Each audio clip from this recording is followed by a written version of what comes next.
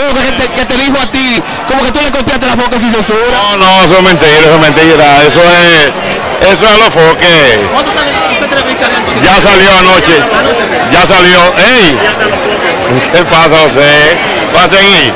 Saludos para mi hermano Santiago Matías, que es mío. Pero tú eres mío. ¿Eh? ¿Todo bien? Mira, la de Cachicha, La de- Nico Núñez. Nel, ¿cómo tú estás? ¿Todo? Pachá, Pachá. Pa- Pachá, es tu hermano. Luis Federico es bueno, el problema es el Pachá. El Pachá, pero... Esto, pero, pero te acabó el último programa. Oye,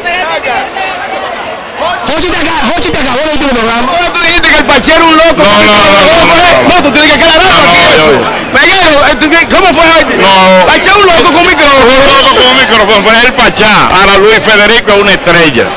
Una estrella, una estrella. Ahora, el trabajo que se ha hecho en ¿Qué opinas? Ahora vas a grabar con los foques después que ustedes se estaban eh, confrontando. el año entero dándole funda. Ellos, ellos- ah, pues tú me conoces. Y ellos son locos. Además, se hizo el trabajo. Sí, yo pienso que me pasé. Le cogió el que miedo a tóxico. No, no, no, no. Toxi, esos muchachos han luchado mucho como familia.